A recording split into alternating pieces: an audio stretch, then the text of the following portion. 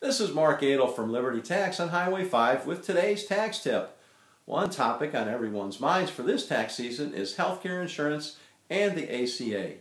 This year, the ACA reporting requirements will affect everyone, not just those who purchased insurance from a state exchange.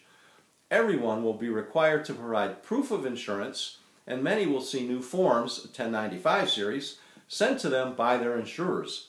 The penalty for not having insurance increases dramatically this year, and excess subsidy payments may have to be paid back depending on your income and credits received. We expect a lot of confusion on this, and we're here to help. Call us at 910-235-5428 to schedule an appointment to review your individual situation.